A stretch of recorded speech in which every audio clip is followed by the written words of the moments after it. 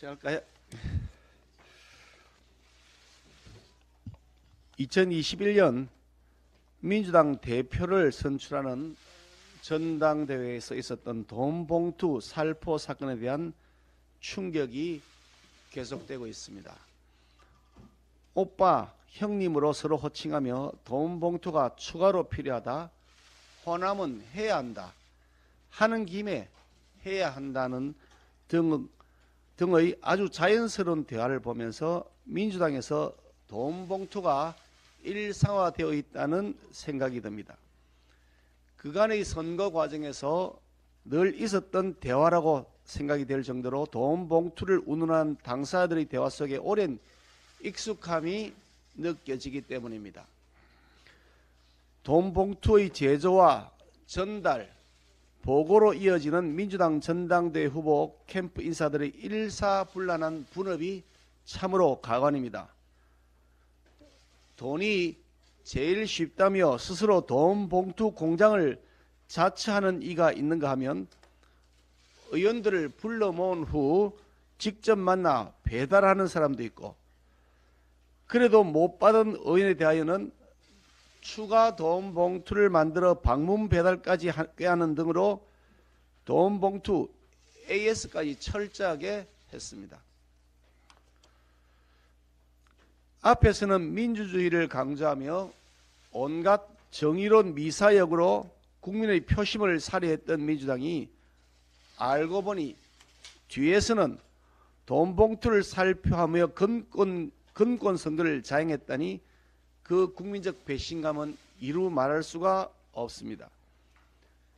민주당은 정치 검찰의 기획 수사라느니 야당 탄압이라느니 하는 당치 않은 주장을 펼치다가 그 주장이 먹히지 않자 궁여지책으로 당내 적당한 기구에서 자체 조사를 하겠다고 합니다.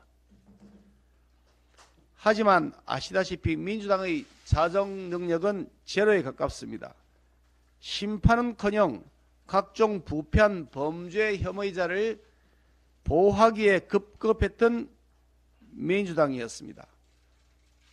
민주당 노웅래 의원과 이재명 대표를 국회의원 특권을 남용하기까지 하면서 결사옹호했고 기소되면 당직을 정지한다는 민주당의 당헌 당규 조항을 무력화시켜서 범죄 혐의자를 당 대표로 유지시키고 있습니다.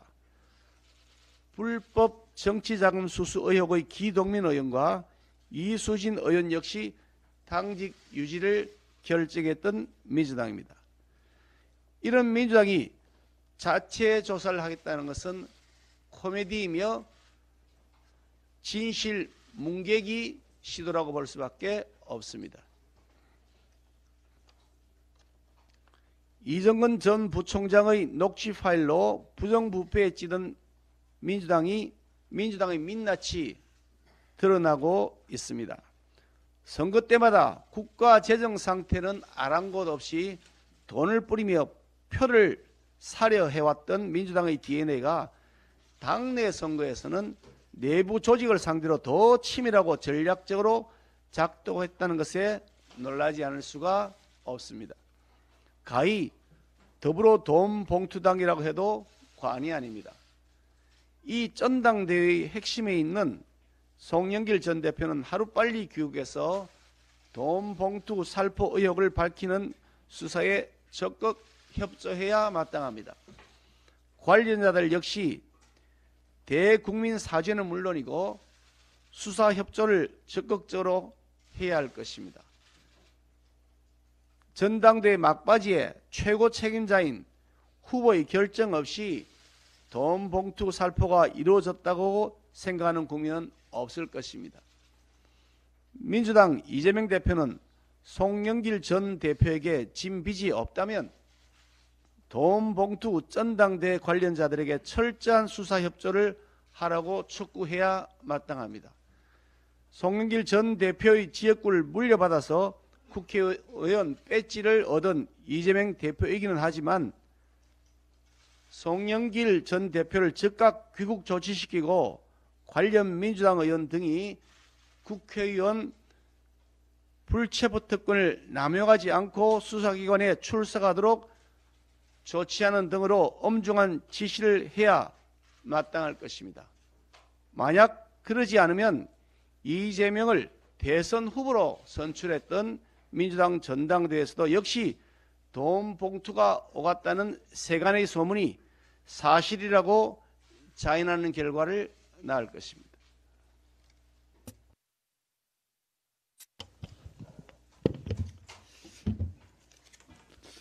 더불어민주당 전당대 돈봉투 살포 사건이 그야말로 전, 전입가경입니다. 녹취록에 나오는 증거가 너무나 명백합니다. 국면 전환을 위한 정치 보복, 야당 탄압이라는 적반하장 정치 공세도 개인적 일탈이라는 변명도 국민을 우습게 하는 행위입니다. 민주당은 사태의 심각성을 인식하고 자체 조사에 들어갔다고 합니다. 하지만 과연 엄정하고 객관적인 조사를 할 수 있을지 의문입니다. 지금 이 시점에 민주당이 가장 먼저 해야 할 일은 첫째, 송영길 전 대표가 즉시 귀국해 당당하게 조사를 받고 진실 규명에 협조하는 것입니다. 둘째, 국회의원들을 포함해 돈 봉투를 주고받은 모든 사람들이 스스로 죄를 고백하고 검찰 수사에 자발적으로 협조하는 것입니다. 민주당이 꼼수로 진실을 조금이라도 덮으려 한다면 국민의 심판을 면치 못할 것임을 명심하시기 바랍니다. 에타 면제법 관련해서 말씀드리겠습니다. 지난 12일 기재위 재정소위에서 에타, 에 타 조사 면제 기준을 500억에서 1000억으로 완화하는 내용의 국가재정법 개정안이 통과되었습니다.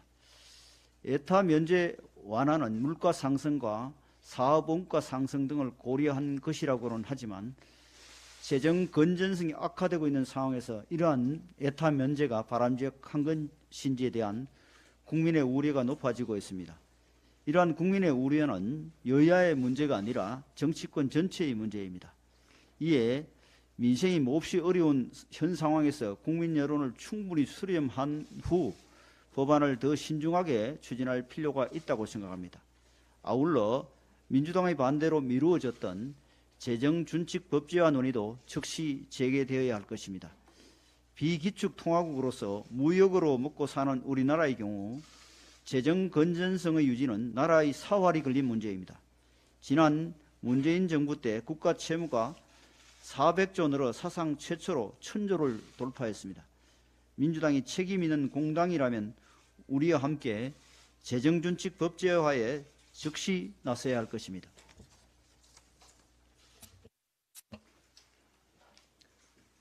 전북 장수 농협에서 근무하던 결혼 3개월 차 30대 남성이 직장 내 괴롭힘을 호소하며 극단적 선택을 해 우리 사회에 큰 충격을 주었습니다. 주말 근무 대체를 요청한 피해자에게 킹크랩을 사오라고 요구해서 받아내는 등 직장 내 괴롭힘과 갑질도 문제였지만 이런 문제를 신고한 고인을 더 고통에 빠뜨렸던 건 회사의 이후 대응이었습니다.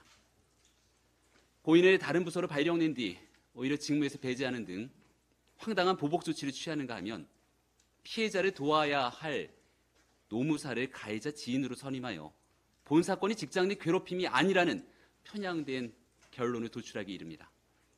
직장 내 괴롭힘이 만연해 있었고 이를 바로잡아야 할 사측까지 조직적 은폐에 나선 퇴행적 행동들이 결혼 3개월 차 청년을 죽음으로 내몬 셈 아니겠습니까? 고용노동부의 특별 근로 감독 결과 총 15건의 노동관계법 위반 사실이 뒤늦게 밝혀졌지만 소중한 생명을 되돌리기엔 너무 늦은 시간이었습니다. 직장 내 괴롭힘은 물론 이를 은폐하거나 비호하려는 2차 가해 세력에게는 무관용 원칙에 따라 강력한 처벌이 뒤따를 수 있도록 법령의 재정비가 반드시 필요합니다. 지금 이 순간에도 전국의 수많은 사업장에서 직장 내 갑질의 고통을 호소하는 이들이 얼마나 많이 있겠습니까? 멀리 갈 것도 없이 제1야당 이재명 대표 과거 경기지사 시절 자신의 측근이던 배모 씨를 통해 별정직 공무원에게 온갖 갑질했다는 의혹 이미 공익제보를 통해 온 세상에 드러난 바 있습니다. 배모 씨는 심지어 이재명 대표의 속옷 빨래까지 시키는 갑질을 해당 공무원에게 시켰다고 하니 사회 고위층이 이런 인식으로 어떻게 우리 사회의 직장 내 괴롭힘을 근절할 수 있겠습니까? 문제는 이런 공익 제보가 나온 뒤에도 모르쇠로 일관하며 진실을 은폐하기에 바쁜 기득권들의 행태가 직장 내 의뢰 위치에 있는 이들에게 더 큰 고통을 야기시킨다는 점입니다.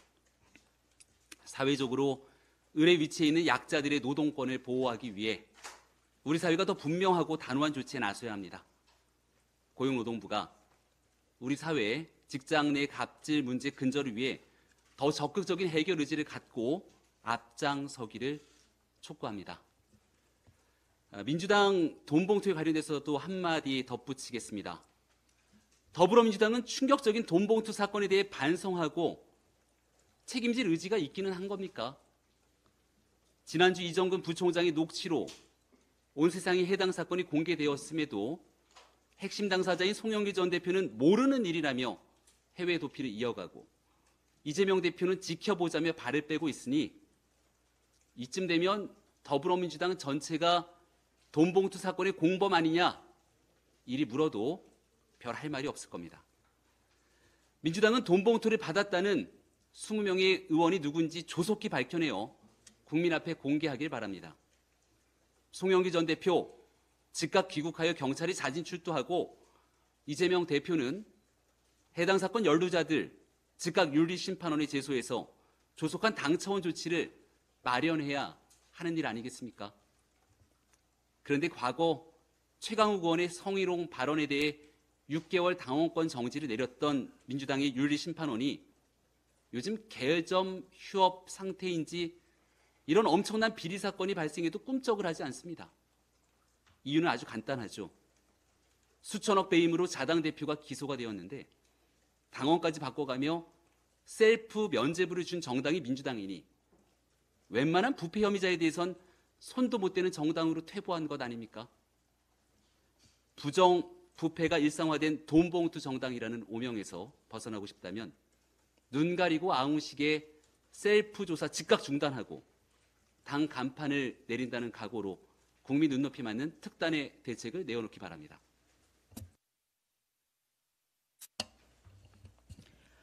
구시대적인 더불어민주당 전당대회 사태와 관련해서 프랑스 파리에 있는 송영길 전 대표가 정치적 수사를 주장하고 있습니다. 성남시장 재직 시절 천문학적 액수의 각종 개인 비리 혐의로 기소된 이재명 현 대표는 이렇다 할 말이 없습니다. 2021년 전당대회 당시 송영길 대표는 이재명계의 지원을 받았고 이재명 대표의 대선 패배 이후 송영길 대표는 다섯 번이나 당선된 자신의 지역을 내줬기에 이번 사태는 이재명 대표와도 관련이 있을 것이라는 분석이 나오고 있습니다. 전현직 더블 리스크를 보복인이 탄압이라고 주장해서는 더불어민주당이 부패 정당이란 인식만 뿌리내리게 할 뿐입니다. 이재명 현 대표는 전당대회 사태에 대한 분명한 입장을 밝혀야 합니다. 송영길 전 대표는 당장 귀국해서 진상을 밝히고 검찰 수사에 응해야 합니다. 더불어민주당은 전현직 대표의 더블 리스크를 덮으려 한 대신 당 차원에서 검찰 수사에 적극적으로 협조해야 합니다. 구시대적인 더불어민주당 돈봉투 살포 사태야말로 법사위 긴급 현안 질의가 개최돼야 합니다.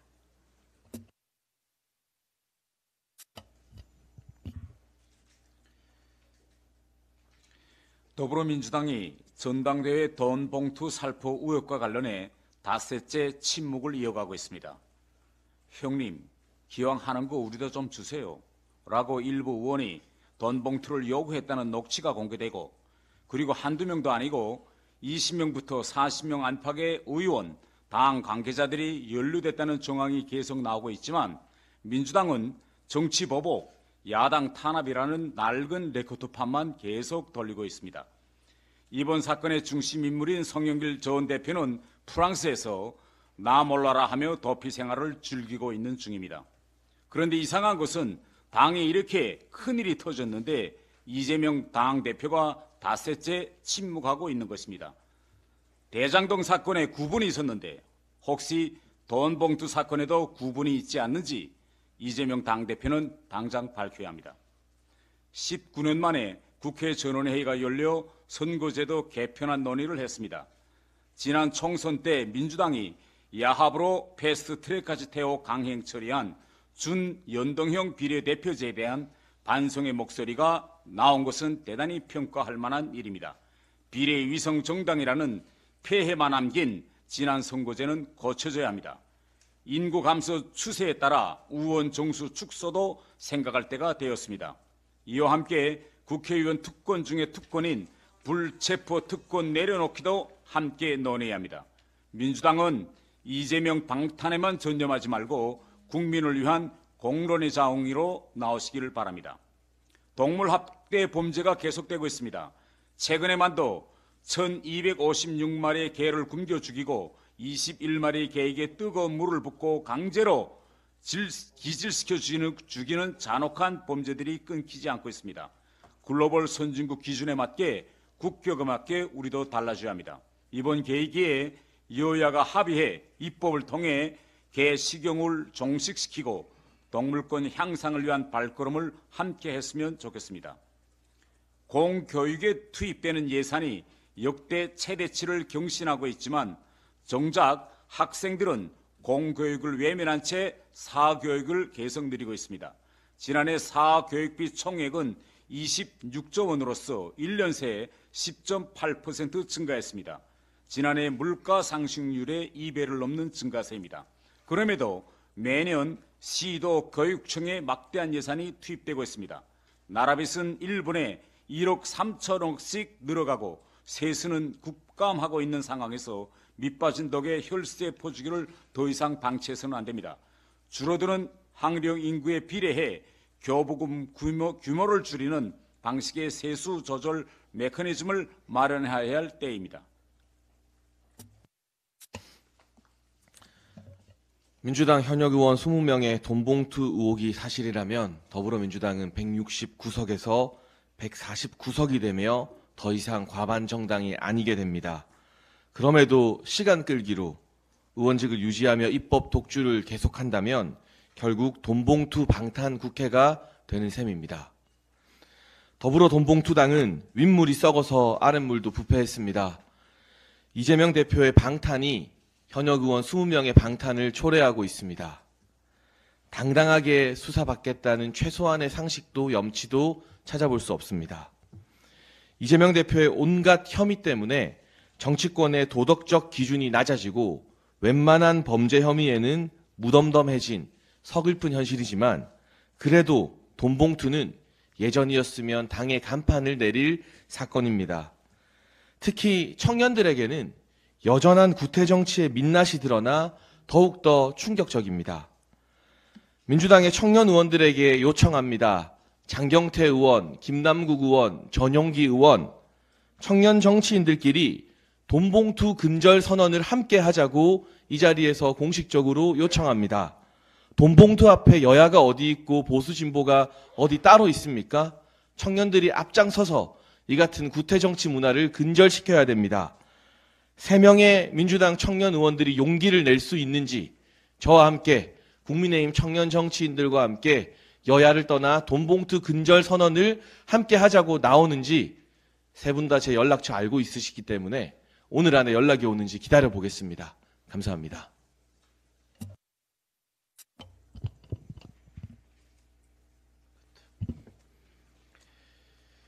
네, 이른바 건축왕이라는 사람으로부터 전세 사기를 당한 20대 청년이 엄마에게 2만 원만 달라는 어, 전화를 남기고 마지막 말을 남기고 극단적 선택을 하면서 세상을 떠났습니다.